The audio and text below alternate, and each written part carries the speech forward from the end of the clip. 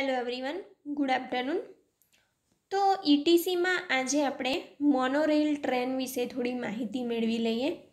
એમ તો જો કે બહુ બધી ટ્રેનો વિશે આપેલું છે, પણ એક્ઝામમાં ખાસ તેને લઈને કંઈ પૂછાતું નથી, એટલે આપણે ડિસ્કશન કર્યું નથી.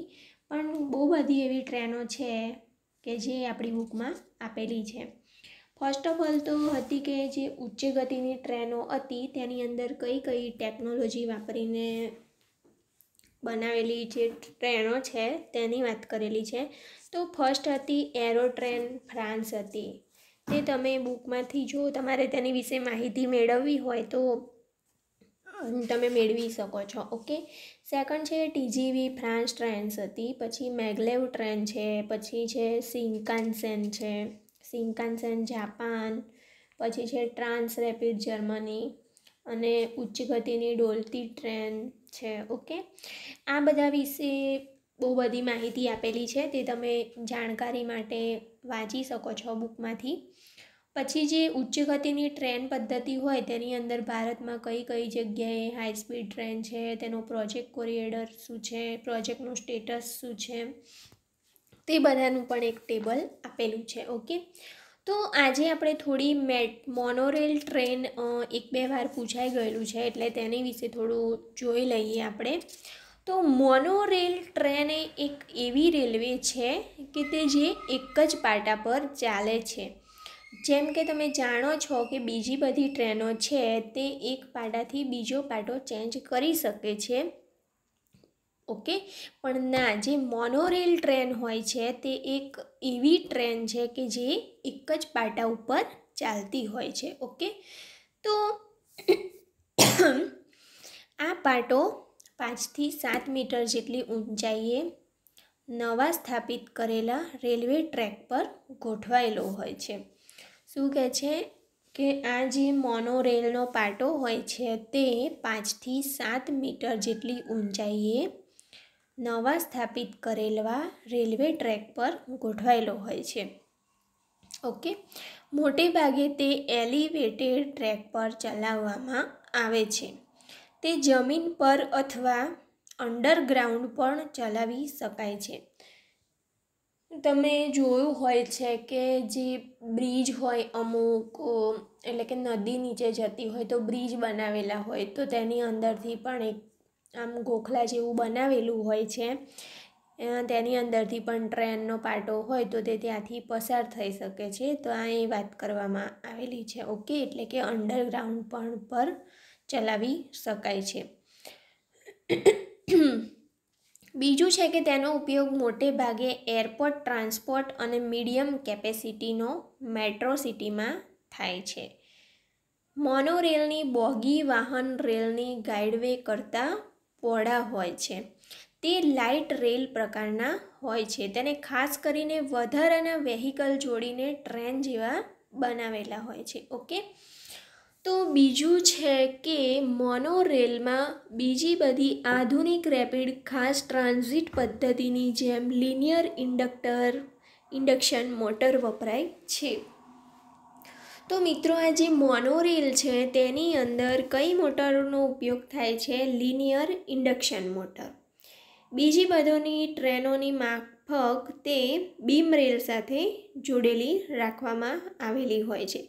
ટ્રેનના ડબ્બા પણ વળાંકવાળા રૂટ પર ચાલતા હોય છે. ઓકે? અને જે મોનોરેલ છે, તેમાં પેન્ટોગ્રાફ વપરાતા નથી.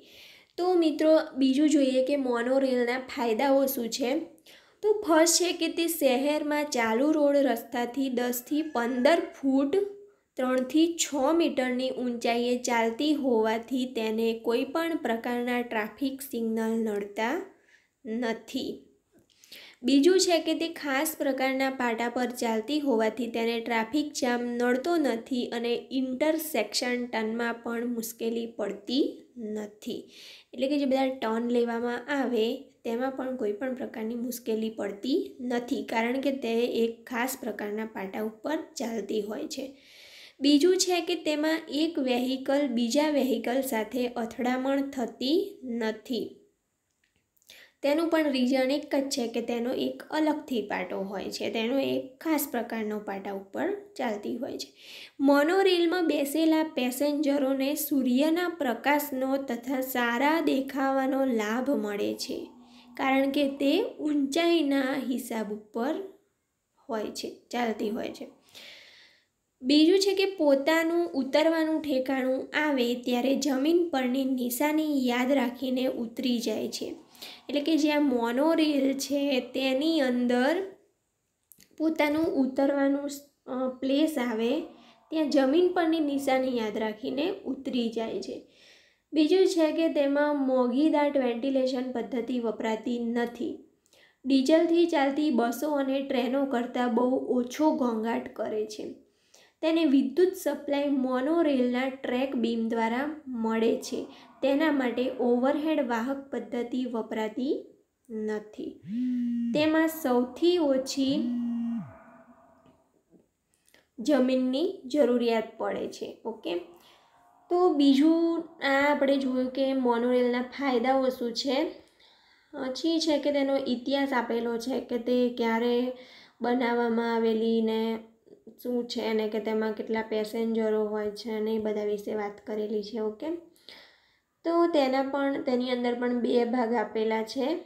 કે સ્ટ્રેડલ બીમ અને સસ્પેન્ડેડ મોનોરેલ, ઓકે? એ બધું કંઈ ખાસ પૂછાતું છે નહીં, પણ આપણને ખબર હોવી જોઈએ. પછી છે કે મોનોરેલમાં મેગલેવ પદ્ધતિ અને મોનોરેલમાં સસ્પેન્ડેડ મોનોરેલ છે ઓકે એ બંને વિશે વાત કરેલી છે અને જે આ પાટા બદલવાની રીત છે તેની વિશે આપણે થોડું જોઈએ કે મોનોરેલમાં પાટા બદલવાની કામગીરી બહુ જ ગૂંચવણભરી અને કંટાળાજનક હોય છે. સ્ટ્રેડલ બીમ મોનોરેલ માટે પાટા બદલવા માટે મુશ્કેલીભરી પ્રક્રિયા કરવી પડતી હોય છે. તેમાં એક મજબૂત પ્રકારનું પ્લેટફોર્મ જે વેહિકલનું વજન, બીમ અને તેનો યાંત્રિક સામગ્રીનો ભાર સહન કરી શકે તેવું ગોઠવવામાં આવેલું હોય છે. મલ્ટિપલ સેગમેન્ટવાળા બીમ રોલર પર સરળતાથી ખસીને એકબીજાને બીજા બીમ પર એલાઇન કરી શકાય છે. ઓકે? અને આ પ્રક્રિયા ઓનલી બાર સેકન્ડમાં પૂરી થઈ જતી હોય છે.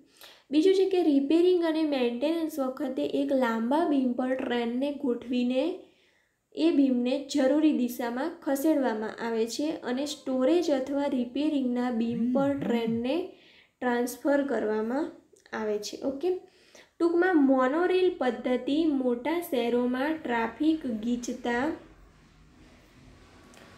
ઓછી કરવા માટે શું કહ્યું છે?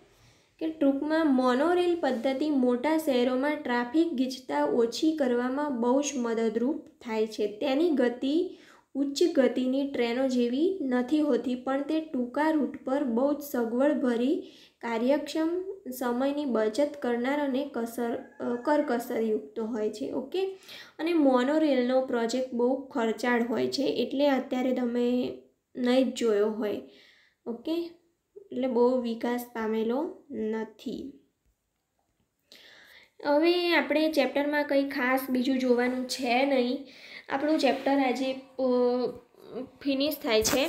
તેની અંદર આપણે જે મુદ્દાઓની વાત કરી તે જોઈ લઈએ. કે પહેલાં તો આપણે બેઝિક ઇન્ટ્રોડક્શનની વાત કરેલી.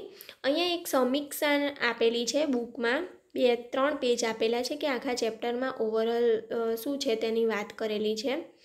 તો મિત્રો, પહેલાં આપણે લાસ્ટ ફર્સ્ટ લેક્ચરમાં આપણે જોયેલું કે બેઝિક ઇન્ટ્રોડક્શન શું છે અને તેની ફ્યુચર પ્લાન ઓફ ટ્રેક્શન એટલે કે ટ્રેક્શનની ભવિષ્યની યોજનાઓ શું છે તેની વિશે માહિતી મેળવેલી. બીજું આપણે જોયેલું કે પ્રિન્સિપલ ઓફ લેવિટેશનની વાત કરેલી આપણે. ઓકે તો લેવિટેશનના સિદ્ધાંતમાં આપણે જોયેલું કે એક દાદરનું ઉદાહરણ લીધેલું. તેની પરથી આપણે થોડી માહિતી મેળવેલી કે લેવિટેશનનો સિદ્ધાંત શું વર્ક કરે છે. ઓકે? બીજું આપણે જોયેલું કે ટ્રેક્શન પદ્ધતિની અલગ અલગ સિસ્ટમો વિશે વાત કરેલી આપણે કે વિદ્યુતીકરણની પદ્ધતિઓ કઈ કઈ છે. તો તેમાં આપણે જોયેલું કે ડીસી સિસ્ટમ હતી, એસી સિસ્ટમ હતી અને કોમ્પોઝાઇટ સિસ્ટમની આપણે વાત કરેલી, ઓકે? બીજું આપણે જોયેલું કે ટ્રેક્શન પદ્ધતિની અંદર એસી સિસ્ટમ છે તો તેના પણ તેને ત્રણ ભાગમાં વહેંચવામાં આવેલી હતી.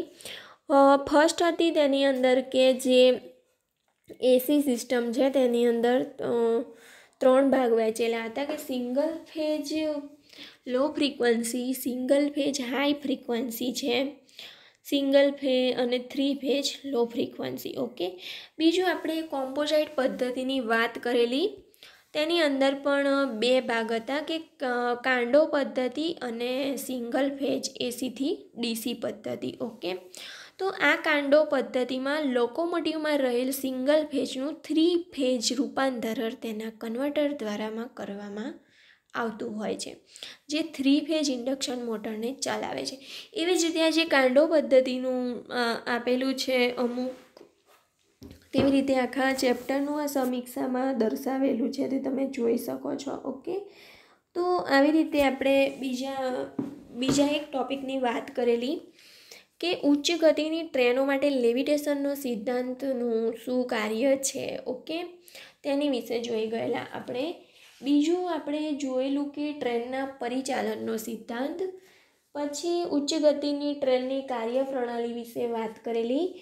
અને નેક્સ્ટ આપણે જોયેલું કે આદર્શ ટ્રેક્શન પદ્ધતિની જરૂરિયાતો શું છે? અને આજે આપણે ડિસ્કસ કર્યું અમુક બહુ વધારે ટ્રેન વિશે માહિતી આપેલી છે, પણ આપણે એક મોનોરેલ છે કે જે એક્ઝામમાં પૂછાઈ ગયેલું છે, એટલે આપણે મોનોરેલ પદ્ધતિ વિશે જોઈ ગયા. ઓકે? તો આપણું ચેપ્ટર ફિનિશ થાય છે. તો મિત્રો, આ વીડિયો એકવાર રિફર કરી લેજો, એટલે તમને ખ્યાલ આવી જાય. અને પીડીએફ ગ્રુપમાં મોકલી દેવામાં આવેલી છે અને આજે અથવા કાલે તમને અસાઇનમેન્ટ પણ ફર્સ્ટ ચેપ્ટરનું મોકલી આપવામાં આવશે, જે તમે એક વીકની અંદર મને પર્સનલી સબમિટ કરાવવાનું રહેશે પીડીએફ બનાવીને ઓકે થેન્ક યુ